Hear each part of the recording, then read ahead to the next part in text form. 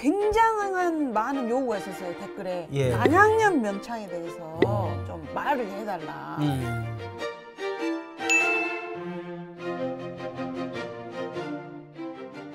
우리 안양년 명창에 대해서 설명해 주시면 궁금한 점또 음. 여쭤볼게요. 예.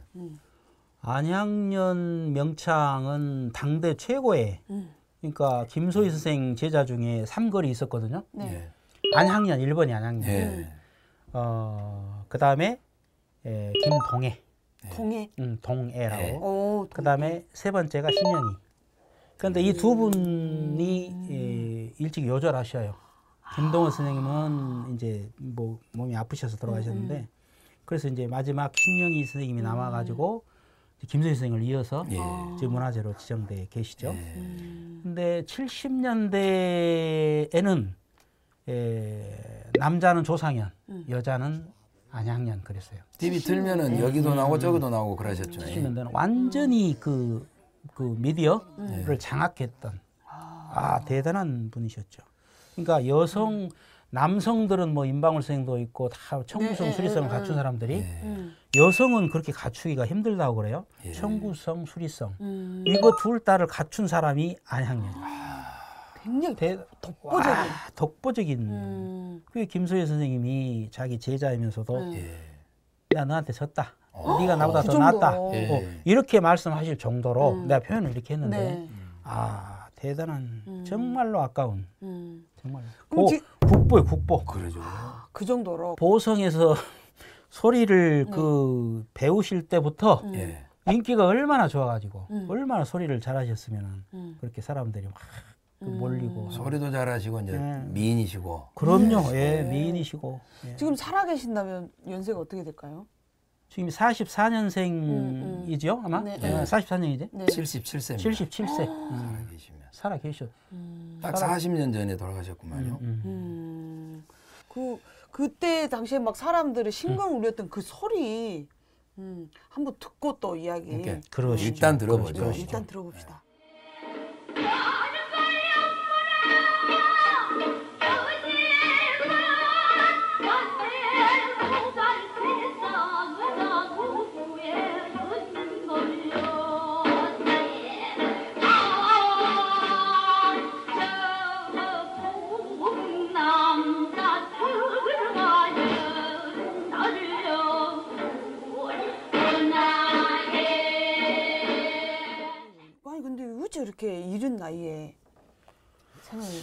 마감을 하셨을까요? 이게 가인 방명이요. 가인 방명 예. 그래서 그런가 어쩐가 하여튼 주변에 이렇게 가까이 지내셨던 분들이 계셔요. 예. 근데 이런 것들을 정확하게 알고 있는 사람들은 없어요. 예. 다 그냥 루머예요. 아, 그러니까 예, 예. 오해들이 있어요. 하나는 너무 안양년을 안양년 선생을 너무 미화시키는 측면이 있고 예. 신비화시키는 어. 신비화시키는 측면이 있고 하나는 뭐 사실이 아닌 것을 그냥 가지고 이렇게 좀 유포시키는 이런 측면이 있는데 그때 돌아가셨을 때 그 아파트에 직접 가셨던 음. 그 선생님들이 계셔요. 어. 음, 그- 그런 분들 얘기를 들어보면 이제 어떤 예술을 하는 분이셨어요. 음. 예술을 하는 이제 여기 그렇게만 예, 말씀드릴게요. 예.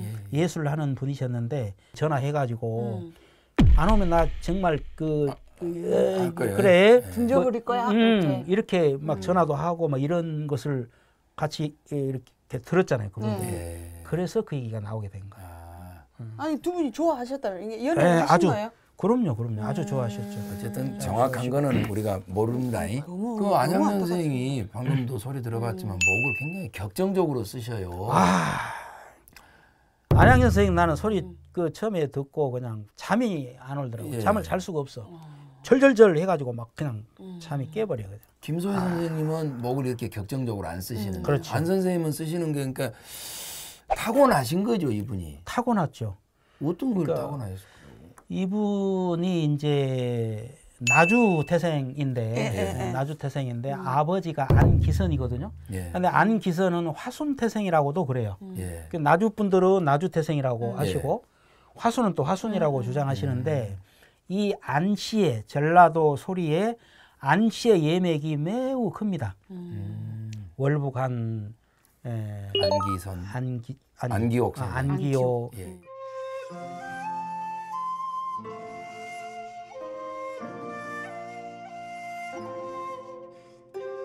그다음에 우리 엄마야 누나야 작곡한 안성현. 어, 이게 이제 예. 저 부용산 그렇죠. 예. 아 절절한 노래거든요. 이게 이제 안성현. 음.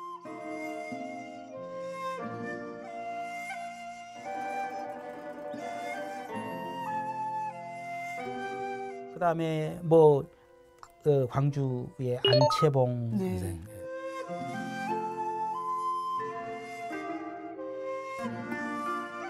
그다음에 또 목포에서 엄청난 어, 제자들을 가르쳐 내신 예, 아내란 아내. 아내란 예.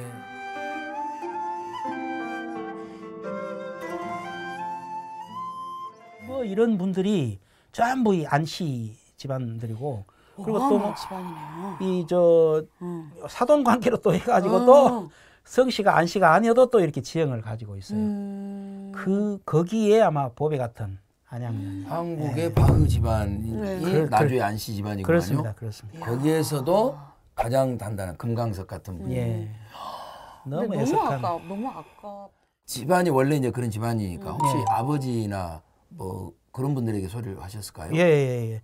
근데 목포에 그 시립 국악원이 생기기 전에, 예. 그러니까 전쟁 나기 전에 예. 예, 목포에 예, 산정동, 대성동 노인당을 개조해서 국악원이 처음 열려요. 음. 그때 이제 그 강사로 음. 가셨던 분들이 엄청 많아요. 뭐 오수암이라든가 음. 김종기라든가 신영희 선생 아버지 신치선이라든가 예, 예.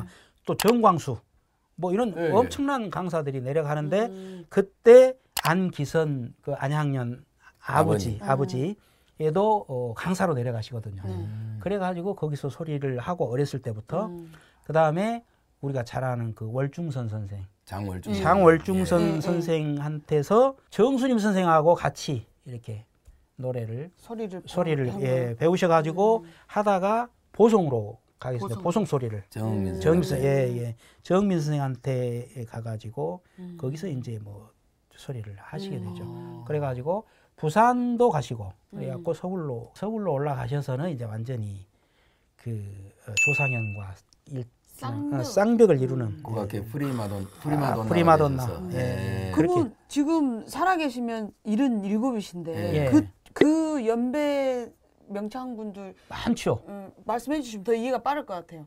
뭐 신영이 예. 다 같이 했으니까 음. 아, 아내란 음. 아저 선생님 호명 저저 예. 호칭은 제가 생략했습니다 죄송합니다 음. 그 신영이 아내란 그다음에 박양덕 선생 예, 예, 예. 박양덕 선생 고흥이거든요 예. 근데 이분이 또이 안양년 선생님 잘 아셔요 아. 아주 친하게 지내셨어 예. 그러면 안양년 선생님이 장월중 선생님한테 공부를 하셨으면 음. 네. 악기도 배우셨겠는데요. 어 뭐 악기에도 음. 출중하셨다고 그래요 그래가지고 뭐 가야금이요 뭐 음. 가야금 병창이요 그- 가요도 하셨어요 가요 아 가요도. 아 가요까지 했지 어. 그러니까 지금 뭐 저 송가인만 있는 게 아니고 음. 예. 그때 그 우지마라 가야금아 뭐 이런 등등 해가지고 아 저번에 혹시 강성대 선생님 절저. 우- 우지 마라. 맞아 맞아 맞아 맞아. 그걸 맞아. 그거의 안양년 선생 소리예요. 아. 안양년 선생 소리. 울지 마라 가야 그마 더 마저 나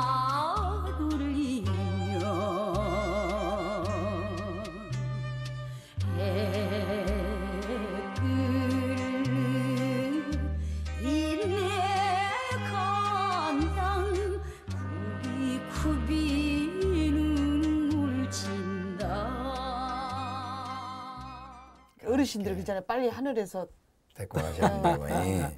하늘에서 그러셨던가. 어쨌든 하여튼 예. 너무나 애석한 그럼 왜 그분이 돌아가시고 김소희 선생님은 어떻게 하셨답니까?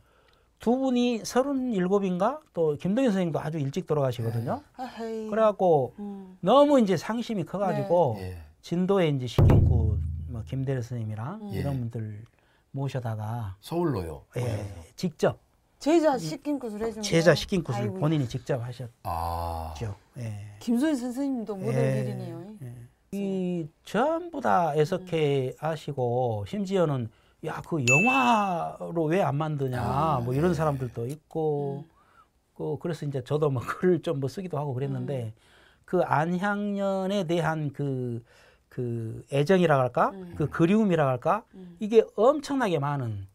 근데 이때 당시에 이제 그 우리 사물놀이를 처음 만들었던 네. 이원 멤버 중에 김용배라고 있거든요. 예, 예, 예. 김용배 선생도 들었습니다. 똑같은 그런 스- 스타일로 돌아가셔요. 네. 그딱 그런 딱 이런 스타일이요. 그래가지고 네.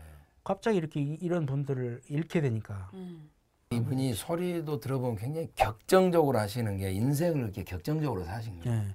허탕하신 분이었다고 그래요. 네. 막 아주 그냥 뭐 남자도 그런 남자가 없어. 아, 예, 그렇게. 너거리셨군요. 아이, 아주 허탕한. 아주. 시중에 가면 이제 안양년에 심창과 음반이 있지 않습니까? 음. 네, 있습니다. 케이스 큰 거 있는데 항상 저 자주 들어요. 음. 가끔이구나 가끔 듣는데 정말 하늘이 낸 백년 천년에 한 명 날까 말까 한 그런 명창이시다. 아시니까 또 구독자분들이 말씀을 네. 음. 하셨는데 판소리계에서 네. 여성 음. 명창으로 그렇게 이 청구성 수리성을 겸비한 음. 소리가 또 있을까 싶을 만큼 예. 아, 우리가 이제 쭉 그 전천우셔요. 전천우. 예. 그게 쭉그 음악들을 음. 안양현 선생님의 음악들을 쭉 들어보는 시간을 가지면 좋을 것 같습니다. 그래요, 그래요. 음. 요정은